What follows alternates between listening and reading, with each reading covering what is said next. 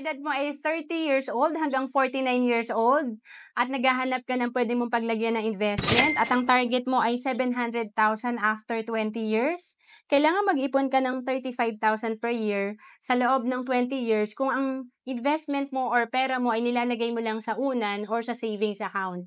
Pero alam mo ba, pag marunong ka mag-invest kagaya ng sa Kaiser, na 7 years ka lang mag-iipon ng 35,000 per year instead na 20 years. At ang projected fund mo dito after 20 years ay 700,000.